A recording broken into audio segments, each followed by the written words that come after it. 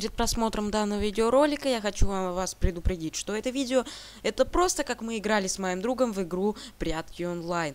Никакого голоса ни моего, ни дру, моего друга не будет. Поэтому просто наслаждайтесь звуками игры и самим процессом. Приятного просмотра.